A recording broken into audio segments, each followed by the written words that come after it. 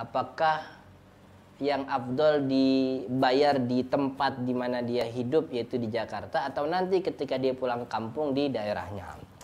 Uh, zakat fitrah itu adalah zakat yang juga di dalamnya ada sisi sosial yang tinggi.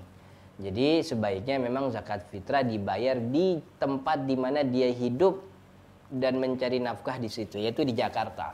Dia bersosial di situ, dia hidup sehari-hari di situ, maka sebaiknya zakat fitrah itu dibayarkan di situ. Karena Nabi Muhammad SAW mengatakan zakat fitrah itu kan tu'khadhi min agniyaihim faturaddu ala fuqaraihim diambil dari orang kaya mereka dan dikembalikan kepada orang miskin mereka.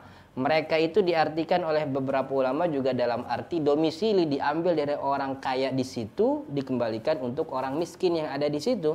Karena salah satu hikmah zakat itu kan nilai sosial, menumbuhkan nilai sosial, menghilangkan uh, apa namanya jurang terjang antara miskin dan kaya, mempererat hubungan antara si punya dan tidak punya. Maka sebaiknya zakat fitrah itu diberikan di tempat di mana dia tinggal di Jakarta, bukan di kampung. Walaupun kalau kejadiannya orang sudah tidak uh, dalam arti dia nggak nggak nggak bisa bayar di Jakarta karena lupa atau karena sibuk dan sebagainya nggak ada masalah. Tapi yang bentuk afdolnya Eh, zakat diberikan untuk orang miskin di mana tempat dia tempat dia tinggal.